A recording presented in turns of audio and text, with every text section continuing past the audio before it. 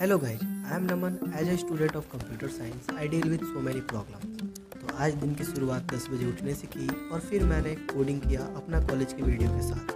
और कुछ बनाए नोट्स और कुछ किए सॉल्व कोडिंग क्वेश्चन को भी। और शाम को मैंने पढ़ा एक बुक जो कि है atomic habits by James Clear उसके बाद मैंने सुने कुछ गाने और फिर आज का दिन यही समाप्त हुआ। तो मिलते हैं कल और तब तक के लिए आप मुझे सब्सक्राइब ज़रूर कर लें।